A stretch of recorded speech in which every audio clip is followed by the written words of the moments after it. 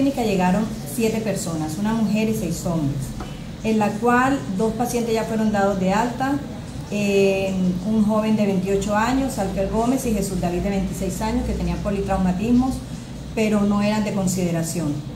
Tenemos en el momento al señor Sami Esteban, de 26 años, él sí está en cirugía con una fractura compleja de tibia y peroné y múltiples lesiones.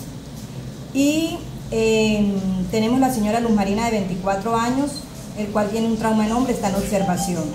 El joven Miguel Muñoz de 26 años está en cuidados intermedios, él sí tiene ya lesiones de consideración con trauma craneoencefálico y fracturas expuestas en miembros inferiores y dos pacientes, el joven Jader de Jesús Cordero, que ingresó a la urgencia pero falleció por múltiples lesiones, traumas craneoencefálicos severos y politraumatismos. Y el señor, tenemos al señor Anselmo Sanabria, de 56 años, que ingresó en muy malas condiciones con amputación en los miembros inferiores, ingresó a cirugía y posteriormente falleció en la unidad de cuidados intensivos en la mañana de hoy.